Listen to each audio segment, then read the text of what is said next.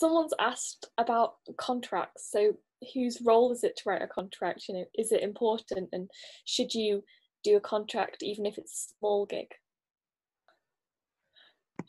One, one thing to say, first of all, a contract doesn't necessarily have to be written down uh, as a as a full thing. You can have a verbal contract, but bare minimum is an email chain.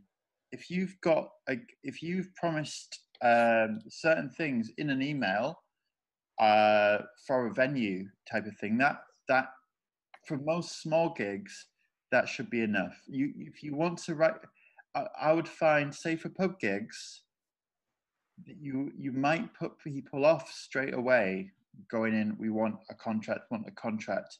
But an email chain should be sufficient enough let's say to agree things. As long as they're written down should be enough while you're starting out it's as soon as you get into that bigger way selling a lot of tickets venues that i'd say a contract is more important